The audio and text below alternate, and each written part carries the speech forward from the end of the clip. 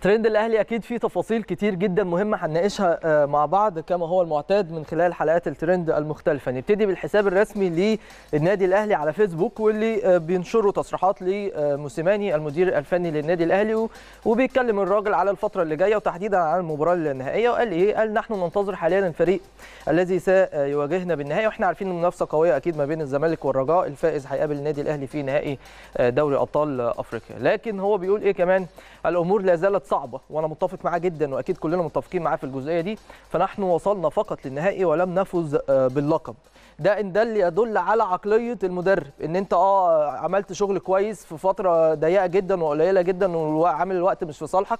لكن في نفس الوقت أنت مركز في إنك عايز البطولة مش أنت بس مجرد توصل للنهائي. فهي دي الشخصية اللي المفروض تتناسب مع النادي الأهلي. واضح جدا من تصريحات الراجل مش بس دي على مدار الفترة من ساعة ما جه الفترة اللي فاتت كلها تصريحاته كلها متناسبة قوي قوي مع شخصية النادي الأهلي.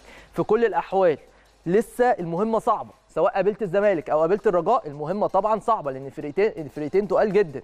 انت هتحاول وتعمل كل الجهد اللي عندك وتلعب بنفس الروح اللي انت لعبت بيها وإن شاء الله ربنا يوفقك. لكن أنا بصراحة بتبسط جدا من تصريحات موسيماني الراجل موفق في تصريحاته قوي قوي يعني.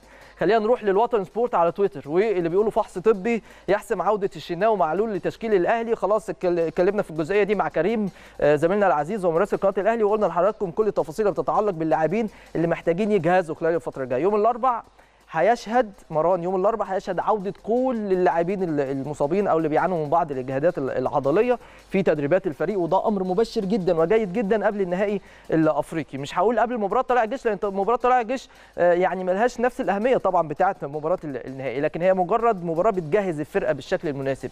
فبالتالي خلينا نكمل كلامنا من خلال سوبر كوره على فيسبوك وبيقولوا إن موسيماني يجهز بدلاء الأهلي لمواجهة طلائع الجيش في الدوري. واضح كده إن موسيماني استقر على تجربة بعض العناصر اللي ما لحقش يجربهم خلال الفترة اللي فاتت بسبب ضغط المباريات وبسبب مباراتي الوداد يعني.